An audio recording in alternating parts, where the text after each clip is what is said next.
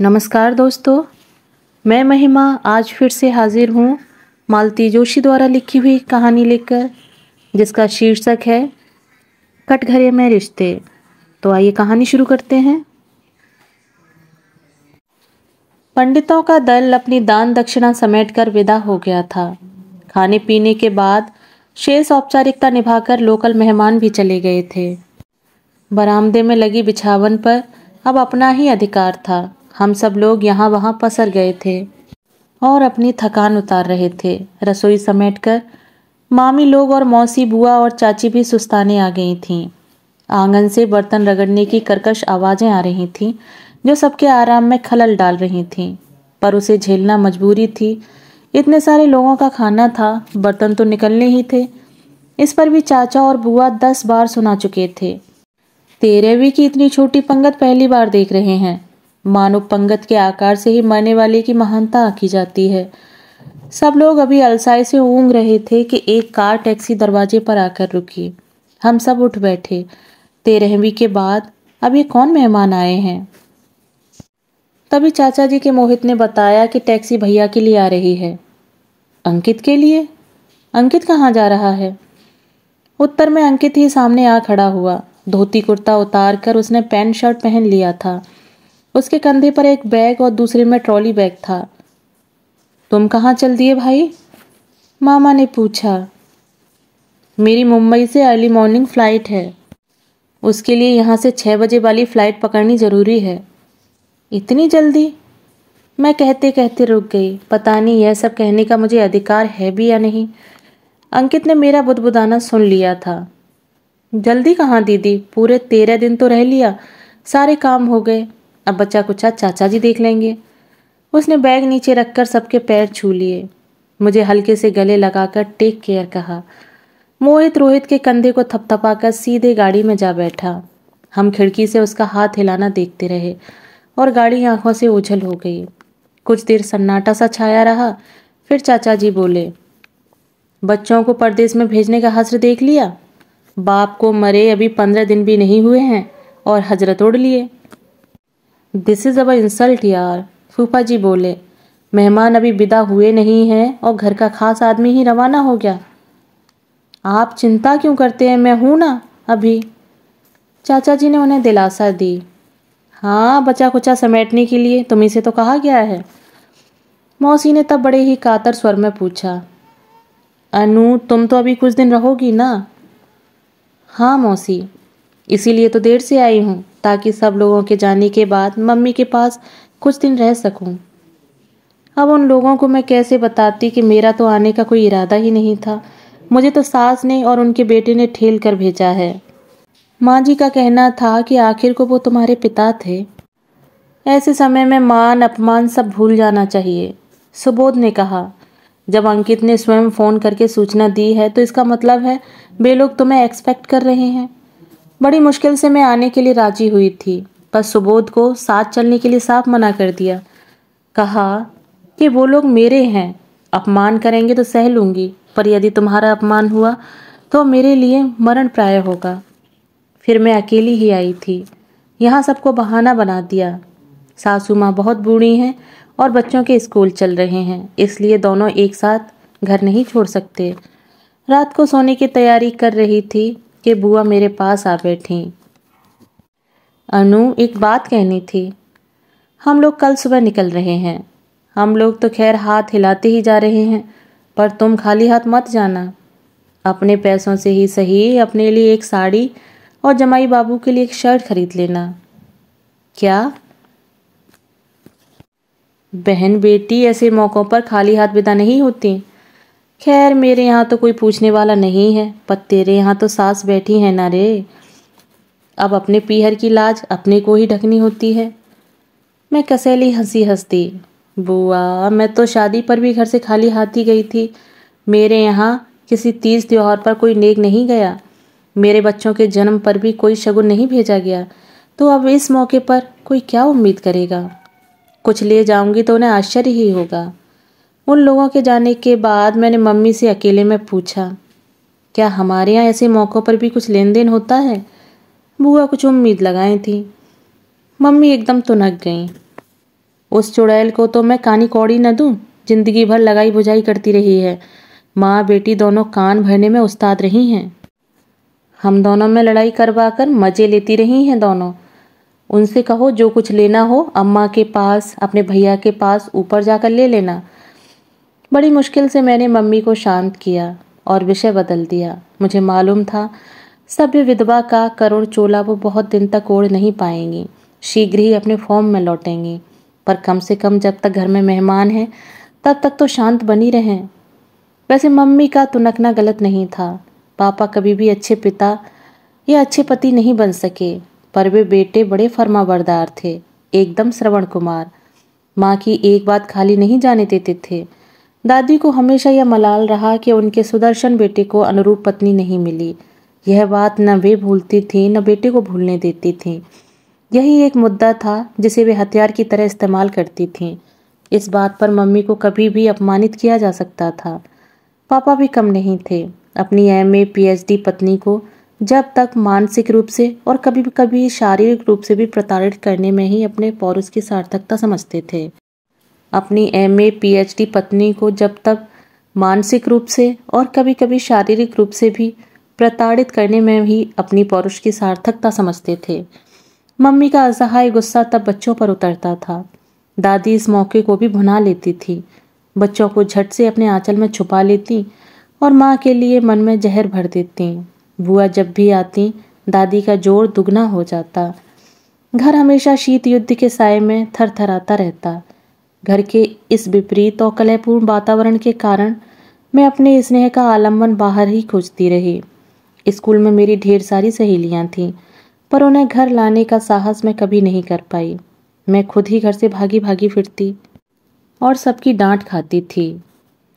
College पहुँचने तक मेरी वृत्ति में थोड़ा ठहराव आ गया था। थोड़ी बहुत अक्ल भी आ गई थी। दादी की कारगुजारियों का रहस्य भी समझ में आने लगा था। पर तब तक बहुत देर हो चुकी थी। दादी संसार से जा चुकी थी और जितना नुकसान होना था, हो चुका था। घर की परिस्थितियों के कारण ही शायद मैं जल्दी परिपक्व हो गई थी। जिस तिसके गले में बाहें डालना मैंने छोड़ दिया था। इसीलिए शायद मैं सुबोध जैसा सुपात्र अपने लिए खोज पाई, पर उसे भी घर लाने की मम्मी पापा से मिलवाने की मेरी हिम्मत नहीं पड़ी। अपने दुर्दांत पिता की संभावित प्रतिक्रिया से मैं डरी डरी सी रहती। मेरे लाख कोशिशों के बावजूद यह बात दबी ढकी नहीं रह सकी। घर वालों को भनक पड़ गई। पापा के सामने मेरी पेशी हुई और काफ़ी लानत मलानत की गई। ऐसे अवसरों पर माँ एक सहारा, एक आश्वस्ति बनकर सामने खड़ी होती हैं, पर मम्मी के साथ तो इस तरह का रिश्ता कभी रहा ही नहीं। समझ गई कि शादी के लिए घर से स्वीकृति मिलना लगभग असंभव है। घर से भागकर शादी करने के सिवाय कोई चारा नहीं था। पापा बहुत तिल मिलाए उन्होंने बहुत हाथ पैर पटके पर मैं बालिक थी, वे कुछ भी नहीं कर सके। तब की गई अब लौटी हूँ, बारह साल बाद। वह भी पापा की तेरहवीं में। एक बात ज़रूर कहूँगी, सुबोध के घर में मेरा हार्दिक स्वागत हुआ। उसकी माँ ने अपना ममता भरा हाथ मेरे सिर पर रखा और वह आश्वस्ति दी, जिसकी अपेक्षा बच्चे अपनी माँ से करते हैं। सब लोगों के चले जाने के बाद घर में मम्मी के साथ अकेले रहना बड़ा असहज लगा। हम लोगों के बीच कभी कोई आत्मीयता नहीं रही, संवाद नहीं रहा। बचपन में दादी ने हम लोगों को अपने में शामिल कर लिया था। अब दादी नहीं थी, पर मम्मी से वह अव्यक्त दूरी वैसी ही बनी हुई थी। मैं दिन भर बिखरे घर को समेटने में लगी रहती। वह काम ज़रूरी भी था और उससे समय भी अच्छा कट जाता था। एक दिन मैंने कहा, अंकित, कुछ दिन और ठहर जाता तो मैं साथ लेकर ही चला जाता। जितने दिन रह लिया बहुत है बार बार भुनभुना रहा था। Thirteen days is too much यार क्या इस कार्यक्रम का कोई शॉर्टकट नहीं हो सकता?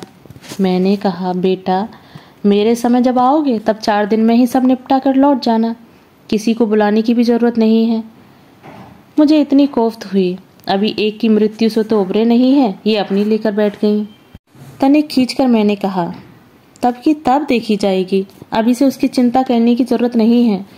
मैं यह जानना चाहती हूँ कि तुम्हें लेने वह फिर से आएगा या टिकट भेजेगा? मेरे जाने के संबंध में तो कोई बात नहीं हुई है। हाँ घर के लिए ज़रूर कह रहा था कि अब इतने बड़े घर का क्या करोगी? इसे बेचकर छोटा सा फ्लैट ले लो और पैसा फिक्स कर दो। यह सब बाद में भी सोचा जा सकता था। इतनी जल्दी क्या थी?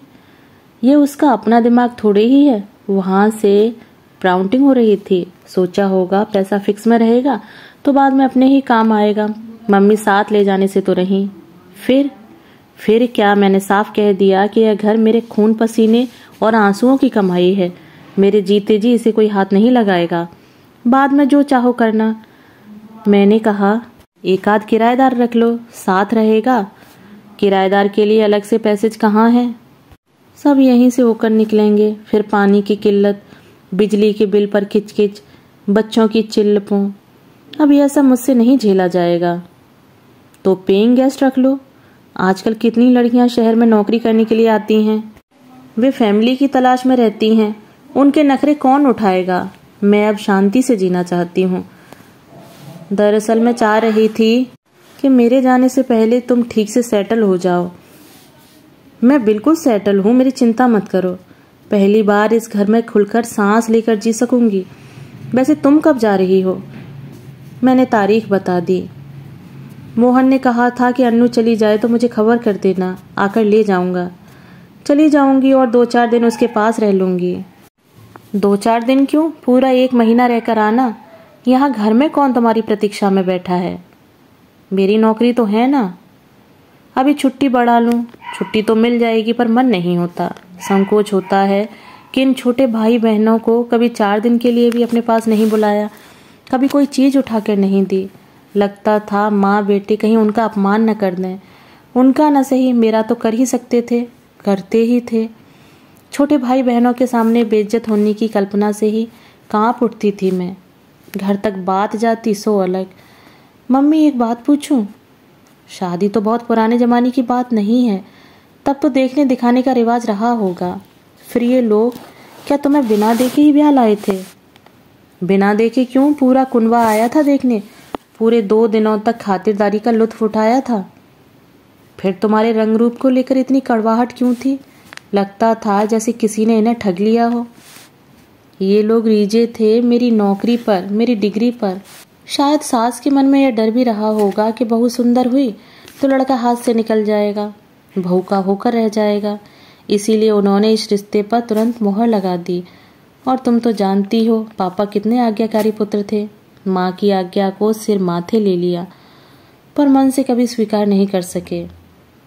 यह तो बिल्कुल सास बहू वाले सीरियल जैसी कहानी है। मैं उस तरह के सीरियल नहीं देखती, पर मैंने उन्हें जिया है तीस बत्तीस साल। और तुम्हें क्या लगता है, अगर मैं सुंदर होती तो मेरा प्रारब्ध कुछ और होता? मतलब? मतलब तब भी ये व्यक्तिहीन बोध से ग्रस्त रहता, मेरे चरित्र के प्रति सशंकित रहता आने जाने वालों को संदेह की दृष्टि से देखता और हर जगह मेरी जासूसी करता और माता श्री भी मेरे खिलाफ सबूत जुटाने में कोई कसर नहीं छोड़ती। कुल मिलाकर इतिहास यही होता। सुनकर सुन्न हो गई थी मैं। जाने का दिन जैसे जैसे पास आ रहा था, मन भारी होता जा रहा था। यह घर जो इतने दिनों से छूटा हुआ था, अब मुझे बाँध रहा था। मुझे महसूस हो रहा था कि मैं यहाँ से दूर थी, तब भी यह मेरे अवचेतन में कहीं अपनी संपूर्ण सज्जा के साथ उपस्थित था। बच्चों का मुँह नहीं होता तो मैं और एक आध महीना यहाँ रहकर जाती। वैसे भी मैंने मन ही मन तय कर लिया था किसी छुट्टी में बच्चों को लेकर यहाँ आऊँगी, उन्हें अपना घर दिखाऊँगी, उनकी नानी से मिलवाऊँगी। इसके लिए मैं किसी निमंत्रण की प्रतीक्षा नहीं करूँगी। दूसरे दिन सुबह निकलना था, इसलिए मैं रात में अपनी सूटकेस जमा रही थी। उसी समय मम्मी ने मुझे अपने कमरे से आवाज़ दी। जाकर देखा, पलंग पर साड़ियों का ढेर लेकर बैठी थी वे। बोली, इनमें से जो तुम्हें पसंद हो ले लो, क्योंकि मैं तो अब यह सब पहनूँगी नहीं। मेरा मन एकदम चित्कार कर उठा, लगा के चीख कर कहूँ कि अब मैं इन साड़ियों का क्या करूँगी। जब मुझे ज़रूरत थी, तब तो कभी हाथ नहीं लगाने दिया, उन पर कुंडली मार कर बैठी रहीं। कॉलेज के फ़ंक्शंस पर, फेयरवेल पार्टियों में, सहेली की शादियों में मुझे अड़ोस पड़ोस की चाचियों के भाभीियों के एहसान लेने पड़ते थे। अब मैं इन साड़ियों का क्या करूँगी? अब तो मेरे पास अपना खूबसूरत कलेक्शन है। सोच ही रही थी कि किन शब्दों में मना करूँ, कि उन्हें बुरा भी न लगे। उसी समय मम्मी ने एक बात कह दी कि मैं भीतर तक काट हो आई। बोली, तुम्हारे पापा ने मुझे और तो कोई सुख दिया ही नहीं। एक पहनने ओढ़ने का सुख था, वह भी अब छिन गया। मैंने तुरंत कहा मम्मी, किस जमाने की बात कर रही हो तुम? वह साधवियों वाली सफ़ेद पोशाक अब कोई नहीं पहनता। फिर तुम तो जॉब में हो, तुम्हें हमेशा प्रेजेंटेबल रहना चाहिए। इसके बाद मैंने उनके उत्तर की प्रतीक्षा नहीं की। साड़ियाँ उठाकर फिर से अलमारी में जमाना शुरू कर दिया। जीवन में पहली बार शायद मैं उनकी अलमारी छू रही थी। उसके भीतर का संसार मेरे लिए अनजाना था और मैं बाल सुलभ जिज्ञासा से उसे देख रही थी। पलंग पर जब दो तीन साड़ियाँ ही रह गईं तो मम्मी ने कहा, क्या तुम एक भी नहीं रखोगी? मुझे लगा उनका स्वर कातर हो आया है, या हो सकता है मेरा भ्रम हो, पर उसके बाद मैंने साड़ियों को वहीं छोड़ दिया और अलमारी बंद कर दी। सोच लिया इन्हें साथ लेकर जाऊँगी। एकाएक मुझे मम्मी पर ममता हो आई। मैंने कहा, मम्मी, तुम्हें अकेले छोड़कर जाने को दिल नहीं कर रहा। कुछ दिन मेरे पास चलकर रहो ना अच्छा लगेगा। तुम्हारे पास? वहाँ तुम्हारी सास भी होंगी ना? वे क्या सोचेंगी? कुछ नहीं सोचेंगी, बल्कि उन्हें अच्छा लगेगा। वे पारंपरिक सासों की तरह नहीं हैं, एकदम अलग हैं। तब तो उनसे ज़रूर मिलना चाहूँगी, पर उससे पहले थोड़ा मन बनाना होगा, हिम्मत जुटानी होगी। और मेरे अकेलेपन की चिंता मत करो, मैं तो सदा से अकेली हूँ। भरे पूरे परिवार के बीच भी अकेली थी, ना पति अपने थे, ना बच्चे। सास ननद का तो खैर सवाल ही नहीं उठता। शुरू शुरू में देवर ने थोड़ा अपनापन जताया था, पर उसके इतने अर्थ निकाले गए कि बेचारे भाग खड़े हुए। अब तो इस अकेलेपन की आदत सी पड़ गई है, बल्कि भीड़ में ही जी घबराता है। मम्मी ने हम सबको, मुझे, अंकित और पापा को कटघरे में खड़ा कर दिया, और हमारे पास बचाव की कोई दलील नहीं थी। दोस्तों, अभी आप सुन रहे थे मालती जोशी द्वारा लिखी हुई कहानी कटघरे में रिश्ते। कहानी सुनने के लिए धन्यवाद।